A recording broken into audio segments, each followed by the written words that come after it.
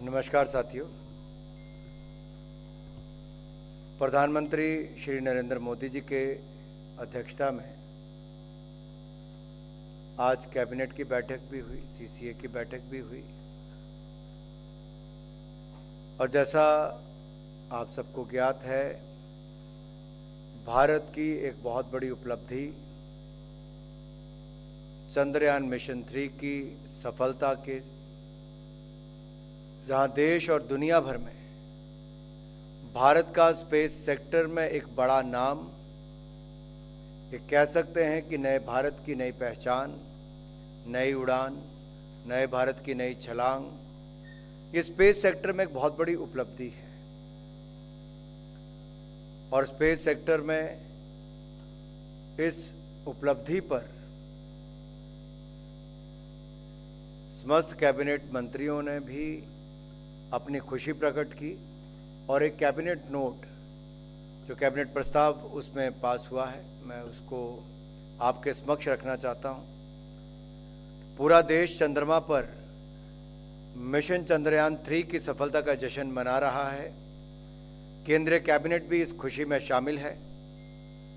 Cabinet हमारे वैज्ञानिकों की इस ऐतिहासिक उपलब्धि की सराहना करती है।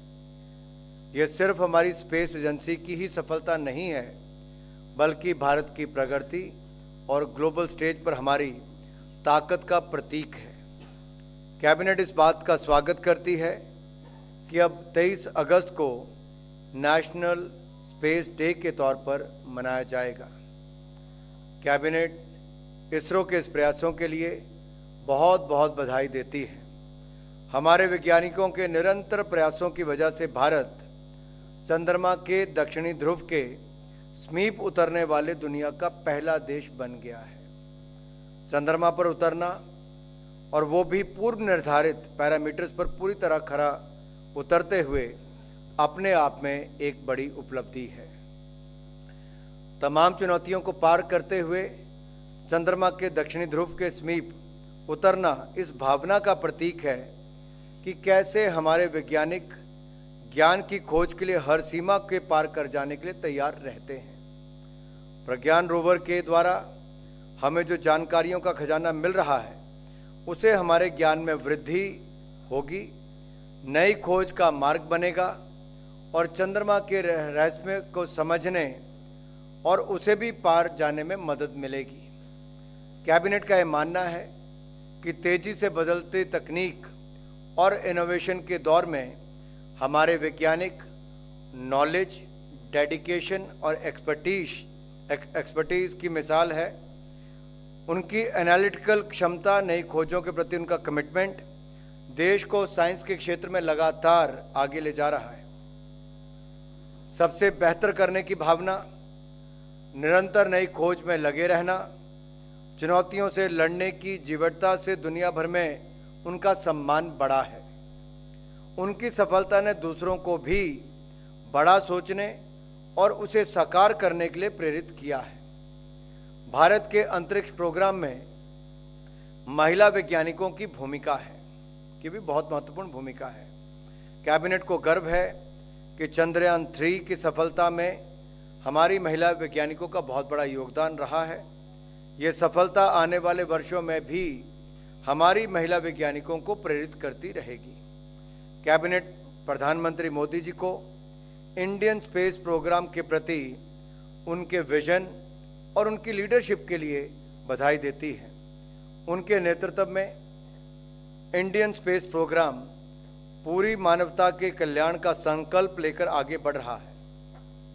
प्रधानमंत्री नरेंद्र मोदी जी के अटूट भरोसे ने हर बार हमारे वैज्ञानिकों को सर्वश्रेष्ठ प्रदर्शन करने के लिए प्रेरित किया है।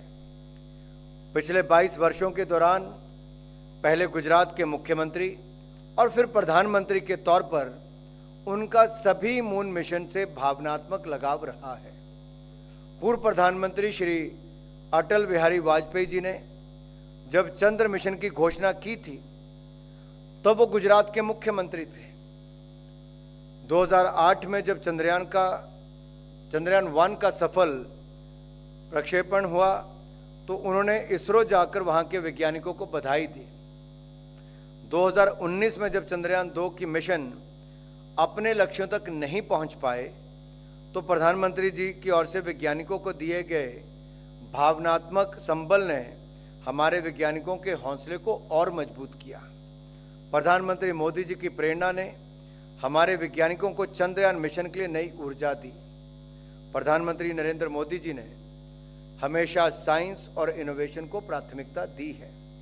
पिछले नौ वर्षों में देश में निरंतर ऐसे निर्णय लिए गए हैं, नीतियाँ बनाई गई हैं, जिन्होंने भारत में इनोवेशन और रिसर्च को आसान बनाया है। प्रधानमंत्री जी ने सुनिश्चित किया है कि स्पेस सेक्टर में हमारे स्टार्टअप्स और प्राइवेट कंपनियों को नए अवसर मिल सकें। प्रधानमंत्री जी के मार्गदर्शन में जून 2020 में डिपार्टमेंट ऑफ़ स्पेस के तहत एक ऑटोनमस बॉडी के रूप में आई एन स्पेस की स्थापना की गई थी। इसका उद्देश्य इंडस्ट्री अकेडमिया और स्टार्टअप्स का एक ऐसा इकोसिस्टम तैयार करना था, जिससे भारत ग्लोबल स्पेस इकोनॉमी में अपनी हिस्सेदारी और बढ़ा सके। आईएन स्पेस अंतरिक्ष के क्षेत्र में भारत को एक नई ऊंचाइयों पर पहुँचाने का माध्यम बन चुका है। बेंगलुरु के इसरो सेंटर पर वैज्ञानिकों से बात करते हुए नेशनल हैकाथॉन का जो विचार माननीय प्रधानमंत्री जी ने रखा है, उसे सभी युवाओं के लिए नई संभावनाओं के द्वार खुलेंगे। कैबिनेट चंद्रयान मिशन से जुड़े दो महत्वपूर्ण पॉइंट्स का नाम तिरंगा, चंद्रयान दो के पश्चिम जहाँ पड़े और शिव शक्ति चंद्रयान थ्री जहाँ उतरा, रखने का स्वागत भी करती है। ये नाम हमारे गौरवशाली इतिहास और आधुनिकता की भावना दोनों के अनुरूप है। ये सिर्फ़ दो नाम ही नहीं, बल्कि हमारे हज़ारों वर्ष पुरानी विरासत और आज के वैज्ञानिकों, वैज्ञानिक आकांक्षाओं वाले भारत को एक सूत्र में पिरोती है। चंद्रयान तीन की सफलता प्रधानमंत्री श्री नरेंद्र मोदी जी के विजन, जय विज्ञान, जय अनुसंधान की भी सफलता है। इस सफलता से हमारे स्टार्टअप्स और एमएसएमईज के लिए स्पेस सेक्टर के नए रास्ते खुलने जा रहे हैं। इससे भारत के युवाओं के लिए आगे बढ़ने की असीम संभावनाएँ तैयार हुई हैं। आने वाले वक्त में स्पेस सेक्टर, नई इनोवेशंस का और लाखों युवाओं के लिए रोज़गार के अवसर उपलब्ध करवाने का माध्यम बनेगा। प्रधानमंत्री मोदी जी ने एक बार फिर वासुदेव कुटुंबकम की भावना को सिद्ध किया है।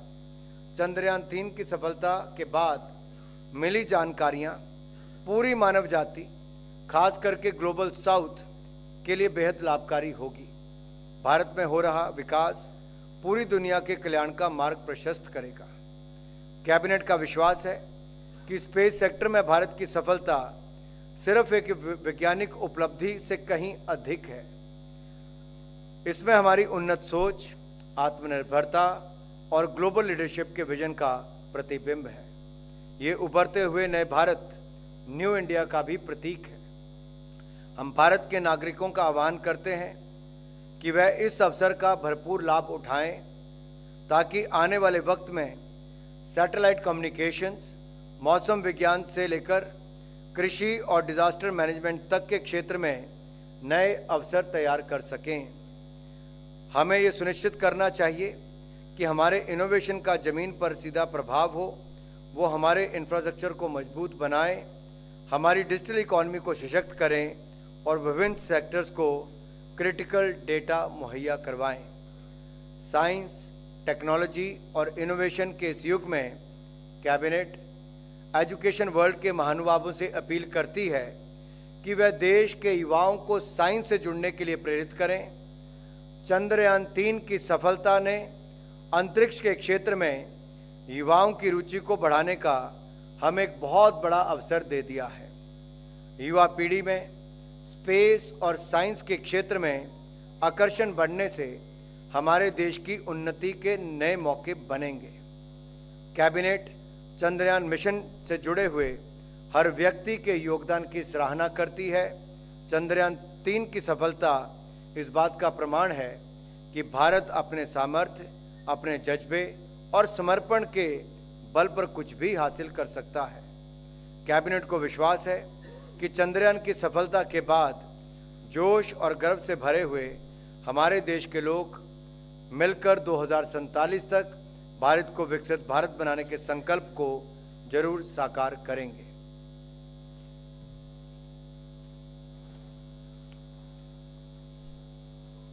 कोई सवाल पूछना है आप में से किसी ने? रविंदर।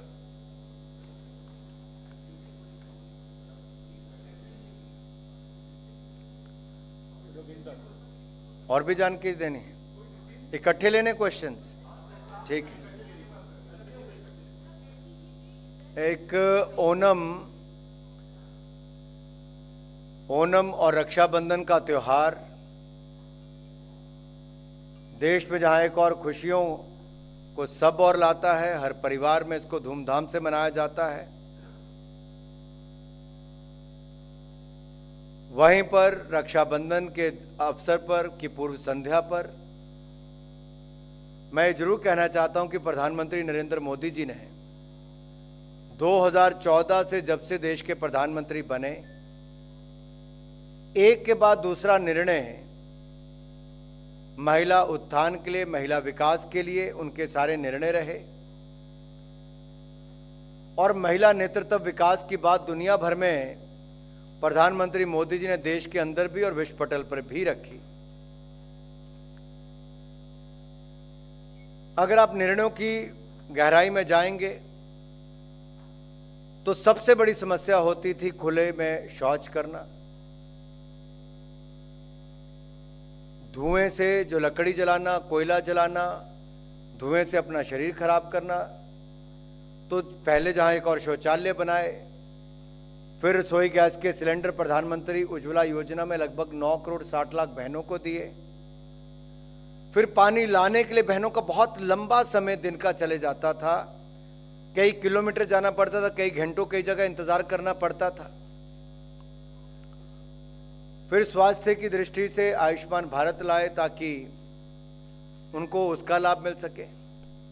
अगर आप एक महिला के जीवन में देखें, जो चुनौतियाँ थी, बहुत सारे कष्ट थे, समस्याएँ थी, उनके समाधान के लिए 2014 से लेकर 2023 तक प्रधानमंत्री नरेंद्र मोदी जी ने बहुत सारे कदम उठाए।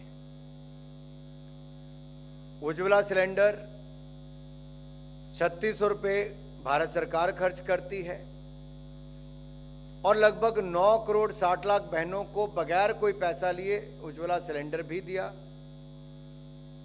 और उनको कुकिंग गैस का एक सुविधा भी दी, धुएँ से मुक्ति भी दी, स्वास्थ्य का लाभ भी दिया 12 करोड़ शौचालय बनाकर खुले में शौच करने से मुक्ति दी और इज़्ज़त घर हमारी बहनों ने उसको नाम दिया।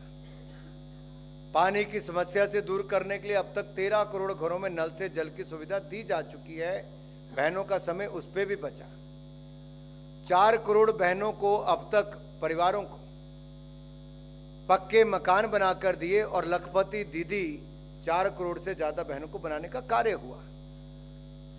जब कोविड का समय आया, तब भी 80 करोड़ लोगों को जहाँ पर अनाज ढाई साल तक बिल्कुल मुफ़्त में दिया जरूरतमंदों को, वहीं पर साढ़े बीस करोड़ बहनों को इकतीस हज़ार करोड़ रुपए से ज़्यादा उनके खाते में सीधा मदद के रूप में नरेंद्र मोदी जी की सरकार ने दिया।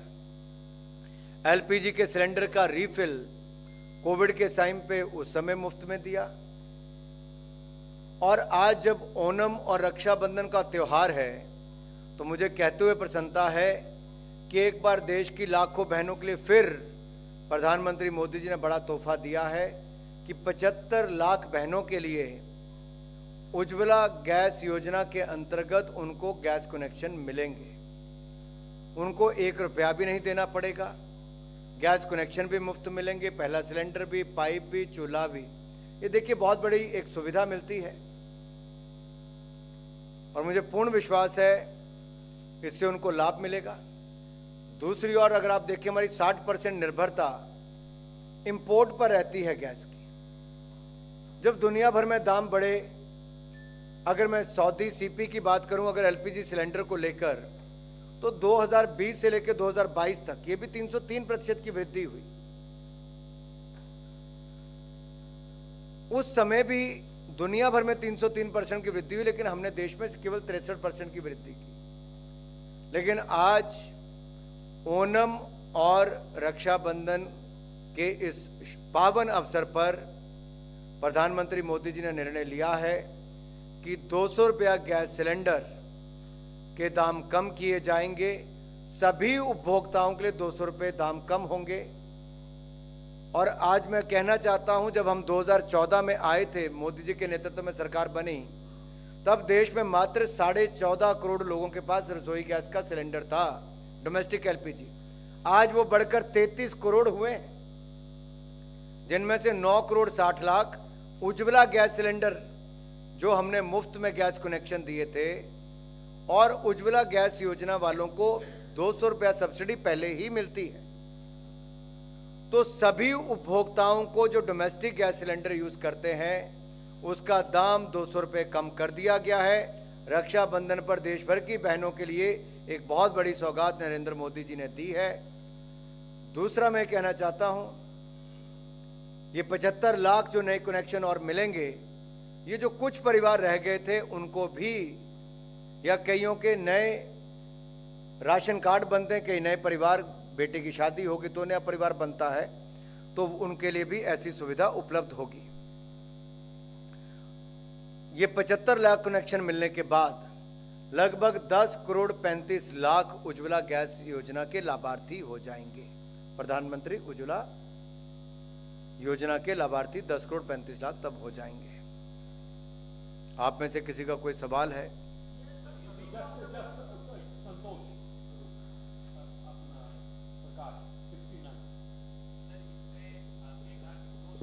सब्सिडी सबके लिए है और उज्ज्वला कस्टमर्स के लिए पहले से दो सौ की सब्सिडी है। तो इफेक्टिवली उज्ज्वला कस्टमर्स के लिए चार सौ की सब्सिडी हुई और बाकी कस्टमर्स के लिए दो सौ की सब्सिडी हुई। जितने उपभोक्ता गैस के हैं, एलपीजी जो यूज़ करते हैं, डोमेस्टिक सिलेंडर, इनके जो घरों में यूज़ होती है, उन सभी उपभोक्ताओं के लिए दाम दो सौ रुपये कम कर दिए गए हैं। उज्ज्वला गैस के जो लाभार्थी हैं उज्ज्वला योजना के उनको भी दो सौ रुपये जो कम हुए उसका भी लाभ मिलेगा और जो दो सौ रुपये सब्सिडी उनको मिलती रहती थी वो एज इट इज़ कंटिन्यू रहेगी तो उनको चार सौ रुपये का लाभ मिलेगा। ओके संतोष। बस सर क्लियर हो गया। लक्ष्मण।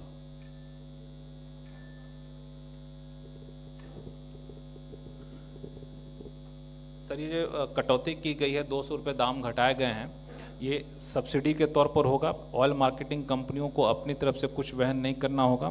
दूसरा, अगर सब्सिडी है तो सरकार के खजाने पर अतिरिक्त खर्च कितना आएगा इससे? देखिए, पहले भी जब आपने लक्ष्मण जी अच्छा सवाल पूछा, पीछे भी अगर देखिए, अप्रैल 2020 से अप्रैल 2022 तक, अगर दुनिया भर में तीन गुना दाम हो गए थे तब भी हमने यहाँ पर प्रधानमंत्री मोदी जी ने देश की बहनों पर उस तरह से महँगाई का बोझ नहीं पड़ने दिया, रसोई गैस के सिलेंडर के दाम उतने नहीं बढ़े जितने दुनिया भर में बढ़े थे। और उस समय भी जो गैस कंपनी, पेट्रोलियम कंपनीज़ हैं, उनको सरकार ने अपनी ओर से मदद की थी। और इसमें भी मैं इतना ही कहना चाहता हूँ कि गैस सिलेंडर सस्ता हुआ, फिर एक बार राखी पर बहनों को मोदी सरकार का उपहार। चोपड़ा। वो देनी सरकार को ही होती है आपको पता है लक्ष्मण जी। चोपड़ा। तो जितने यूज़ होंगे उसके कैलकुलेशन के हिसाब से। If you could just tell us the total cost on the state exchequer, you know, after this subsidy. देखिए अगर मैं पुरानी बात करूँ तो उसमें तो इक्कीस हज़ार करोड़ से ज़्यादा शायद दो वर्षों में देना पड़ा था।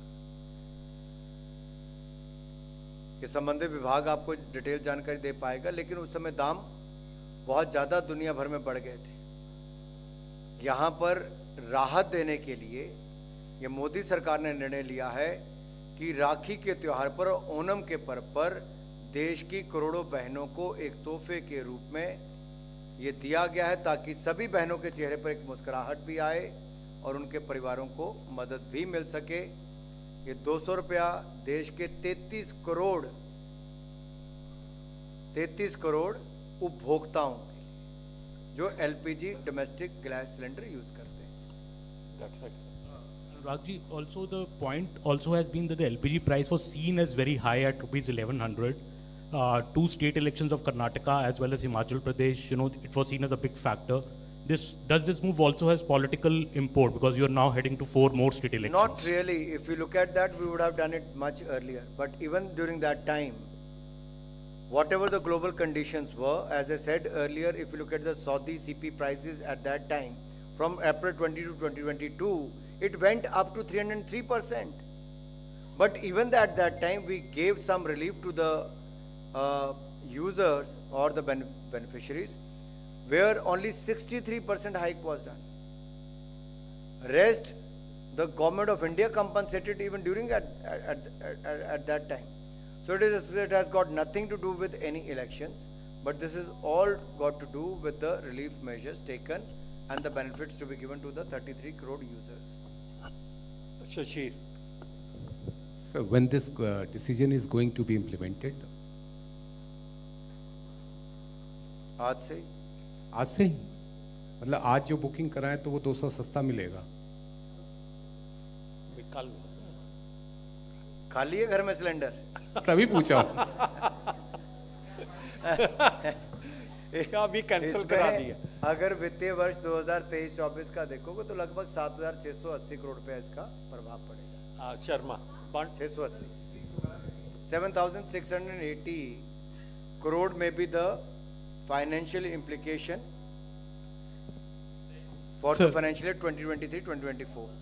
Sir मेरा सवाल है आपसे मेरा सवाल है आपसे ये जो आपने आज जो राहत दी है एलपीजी सिलेंडर पे लेकिन इसके साथ ही साथ जहाँ जहाँ पे इलेक्शन हो रहे हैं धन्यवाद करना है सर धन्यवाद तो है उसके साथ ही जहाँ जहाँ चुनाव हो रहे हैं जैसे मध्य प्रदेश राजस्थान है वहाँ पे पाँच पाँच सौ में सिलेंडर देने की घोषणाएँ कर रही हैं अपोजिशन पार्टियाँ तो क्या उससे भी जोड़ के इस निर्णय को देखा जाए या आगे कुछ मैंने पहले उस बात का उत्तर दे कुछ दिया। है। आगे भी राहत मिलेगी ये ओणम और रक्षाबंधन के अवसर पर एक बड़ा तोहफा देश की करोड़ों बहनों के लिए और ये कोई एक वर्ग के लिए नहीं सभी बहनों के लिए 33 करोड़ ऐसे उपभोक्ताओं के लिए दो सौ रुपया प्रति सिलेंडर दाम कम करने का एक बहुत बड़ा निर्णय नरेंद्र मोदी जी की सरकार ने किया। हाँ सर प्रशांत हूँ एनडीटीवी से।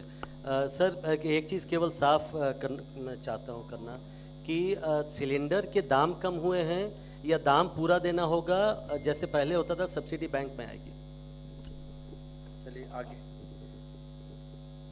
Next. Two sixty two. और जस्ट जस्ट टेक सर हाँ मैं सकाळ न्यूज़पेपर से बोल रहा हूँ। ये जो सब्सिडी दी है सिर्फ़ एक सिलेंडर के लिए है कि आगे भी ये चालू रहेगी? ये दाम ही कम किए हैं।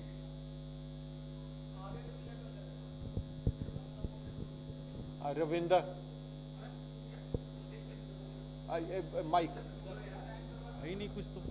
सर ये तो गैस सिलेंडर की बात हुई है सभी को राहत मिली बड़ी बड़ा फैसला। जो पीएनजी वाले हैं जो पाइपलाइन गैस वाले हैं इसमें अधिकतर लोग हैं आप भी हैं। उनको कितना फ़ायदा होगा कब होगा सर? किसको लाभ होगा? अच्छा। गैस समय पे पहुँच रही है। सस्ती हुई है। तो दाम यहाँ पे भी कम हुए सिलेंडर पे। गैस वालों का पाइप अब पाइप के लिए आपकी चिंता ज़्यादा है। पॉल में। से सब पाइप वाले ही। Thank you. And uh, now we request you to join us over a cup of tea on the fourth floor, cafeteria.